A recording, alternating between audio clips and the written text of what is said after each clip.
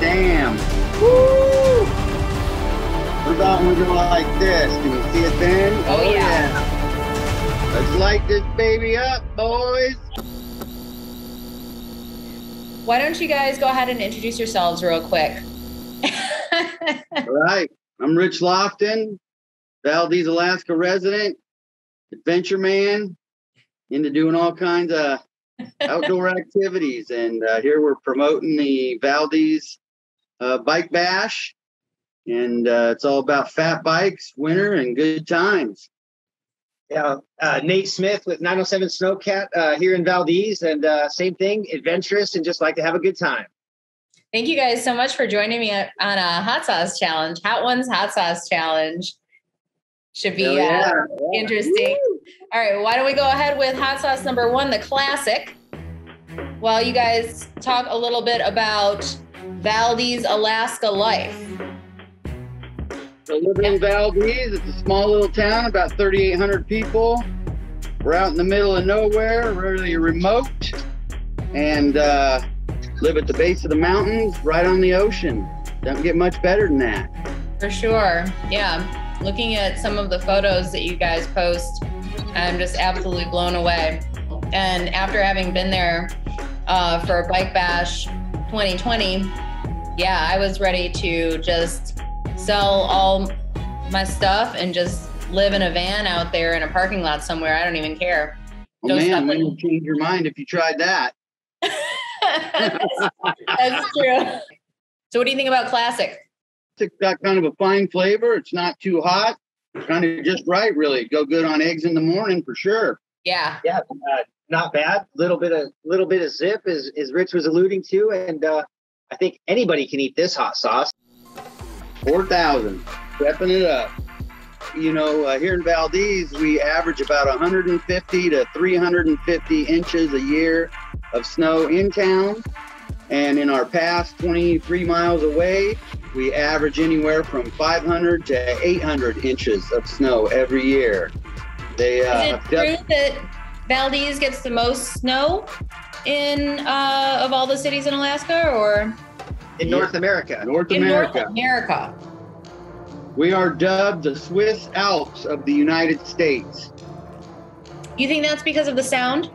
It is because it's the way the coastal region is built and the clouds come in and stack against the mountains and it's a real wet region. Cheers, Cheers. brother.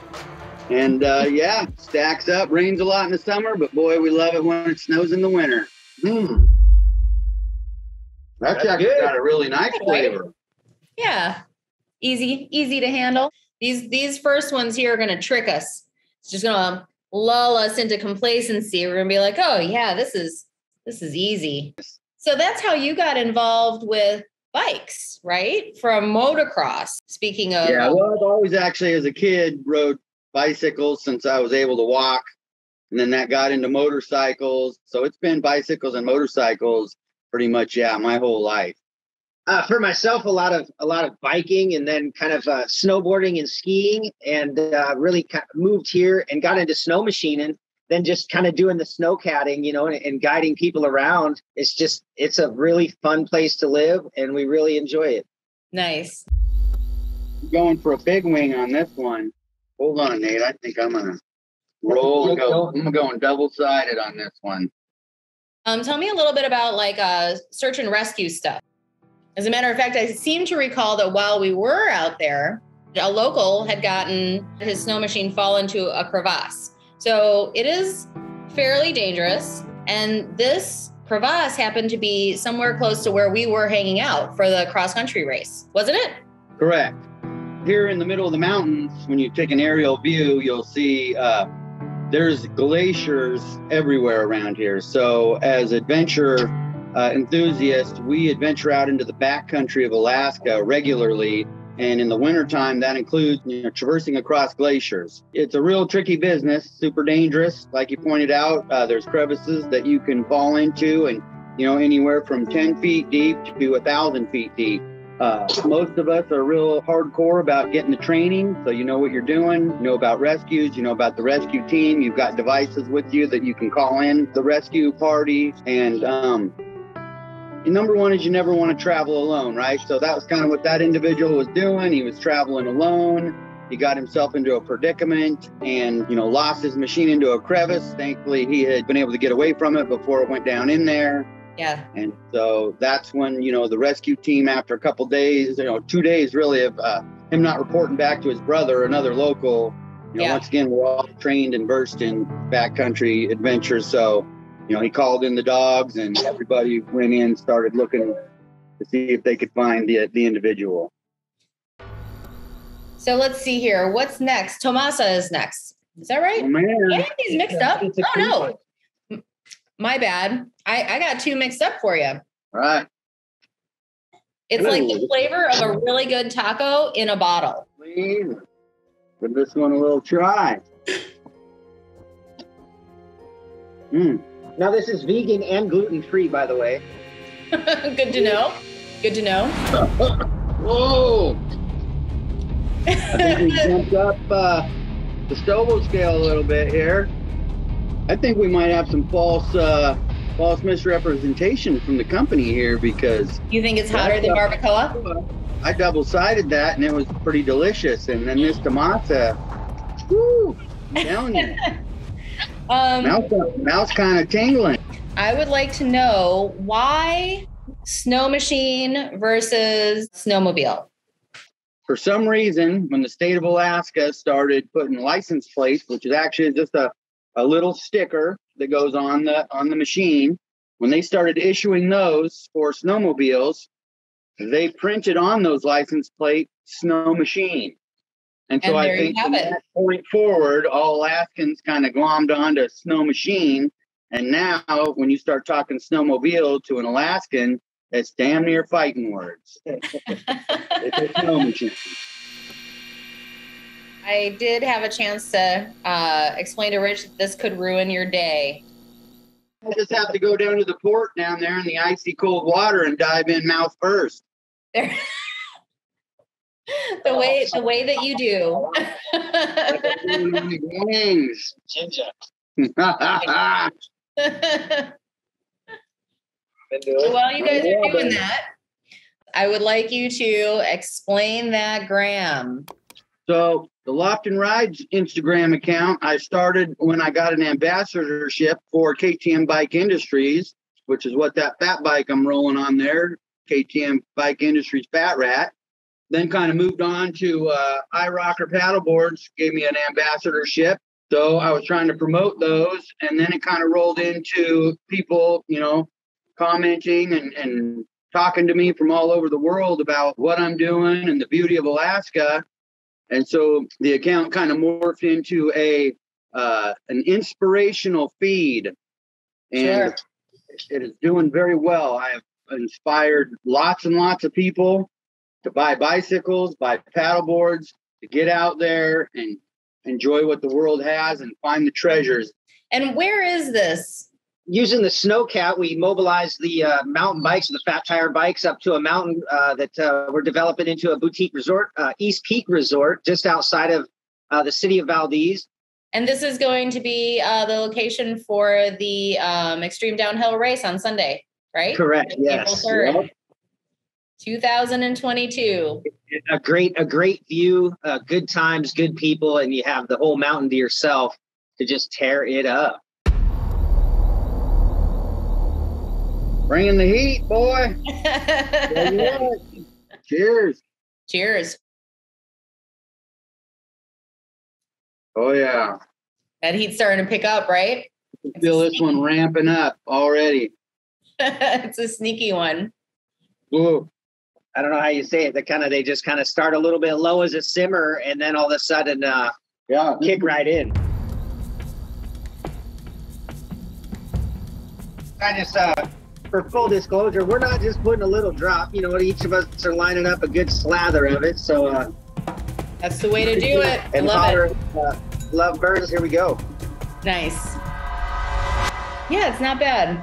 I like it that it still is super hot, but there is there are still other elements that I can get. And it's tasty. It is. Yeah. Have you guys ever made your own fermented hot sauce before? Hey. We live in Alaska. Uh, No. Even more reason to have hot sauce around. You know, those cold winter nights, get some Yeah. hot sauce. I think the top of my head's starting to sweat. Just remember, be careful around your eyes. Or the bomb. The bomb. So we're, the we're gonna do this in segments, right? Like Yeah. we come back and do the last do one. You-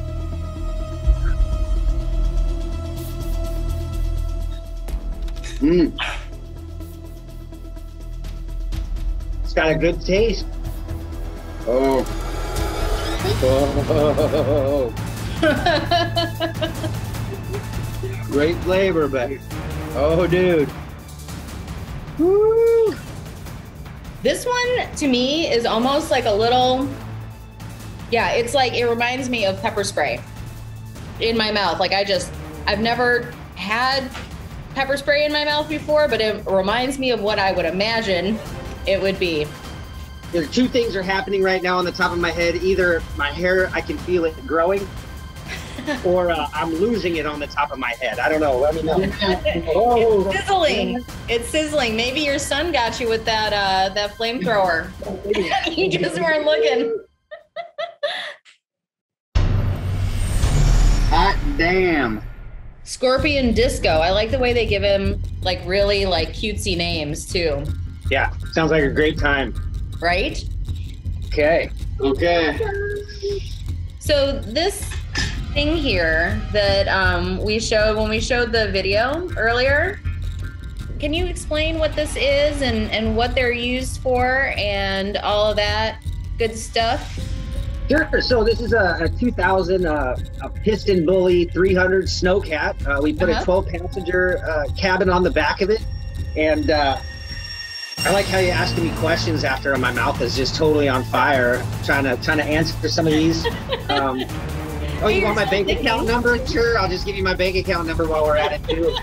Uh, but you could, but nonetheless, uh, no, we use that and facilitate uh, we facilitate fun in the mountains right? I run a business but but really for me it's it's about uh, showing people a good time. I watch people get better throughout the day and and that's rewarding to me right? Um, i say you know come come with your skills and uh, we'll see if, if maybe we can uh, we can become a better rider by the end of the day. But uh, yeah the machine itself uh, beautiful machine. Uh, Kässbohrer makes a great machine and um, yeah I, I I'm trying to think of other things to say, but uh, the hot sauce is influencing uh, my ability to think right now. I'll be quite honest with you. So you Um, use the snowcat machine to um, bring skiers up in, in lieu of a lift, really. And uh, is the snowcat um, also something that you use to pack down the snow to make uh, to make sort of snow roads? Is sure, that think about it just like a bulldozer on snow, right? Gotcha. And so it has a big blade on the front, and uh, we use that to, to actually build the road. Usually, it takes about I don't know anywhere from a, a week, uh, you know, in it, you know, to to build five to seven miles of snowcat road. Um, as we say, buffed out and, and ready to go. nice? And, and is that is that on flat ground, brother? that is not on flat ground. It takes quite a while to get up there. Uh, um, that, yeah, all the way around. This stuff is, is so hot. I, I'll be telling you. So uh, part of my nose went back down into my mouth. So now I'm breathing a little bit of fire.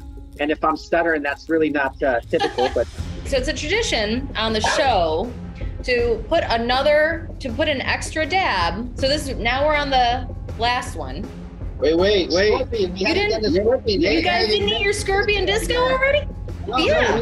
Catch up. Yeah. Welcome to the disco, man. Okay. Back to back, even better. Yeah. There's a little. One wing for Nash. I brought one with no sauce on it if he wanted it. Oh, that's nice. Yeah. Um. So for the last, Hello. yeah, the last one you actually get to put a little extra on. What? So yeah, that's the that's the I'm that's here, friends. I always knew women were crazy. Maybe because my mouth is already numb. Doesn't seem quite as bad. The, the, the bomb. Maybe maybe I'm uh I think the bomb was a little hotter than the scorpion disco. This is uh, So you gotta, yep, put a little, little shake weight action. a little extra on there. Oh, oh, brother. I guess it's go big or go home with this one, huh? Yep. Six hundred thousand to two million. Here we go. Put us to bed. All right, so that's just full disclosure. I'm not. Nice. not weenie, Oh no. man, you're making me feel guilty. All right. Yeah. So I got it. I got it on interesting. mine. I got it Cheers. on mine. Cheers. Okay. Cheers. Oh, this one's got some some uh, some flavor. Mm. The last dab. This one lights it up right out of the hole. Oh boy. Oh, that's delicious. It does have some good It flavor. does. Yeah.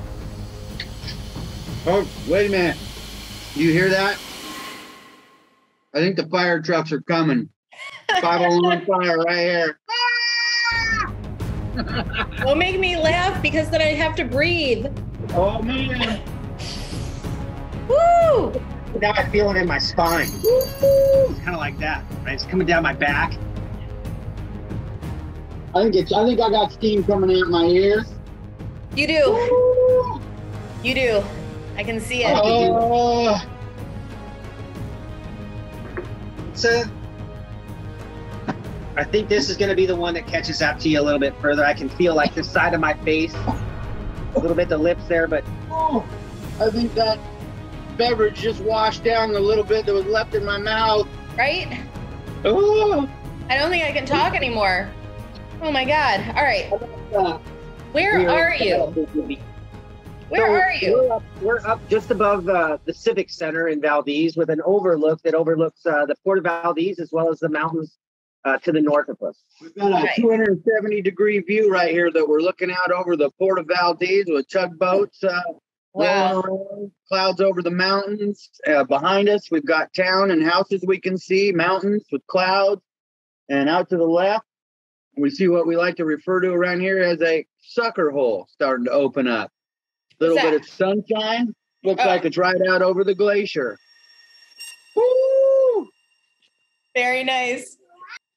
Well, thank you guys so much for joining me on this. Uh, yeah, absolutely. Anytime we can torture ourselves at your pleasure um, and and lead to other people laughing at us, I, and not a problem. I, I really like it.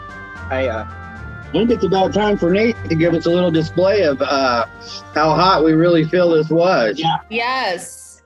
All right, Nate, let's get some. Show us how it's done. Here. I'm gonna reach in. Woo! Nate here's gonna show us what he thinks. Nice.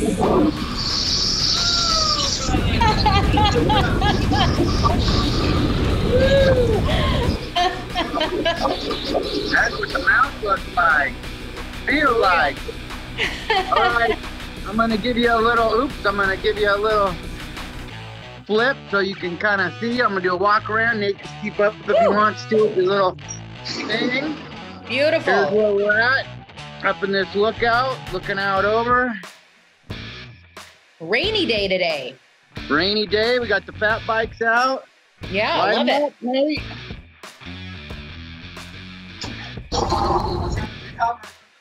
Did you guys really make that thing? Oh yeah, baby. All right, Nate, where you at here? All right, buddy.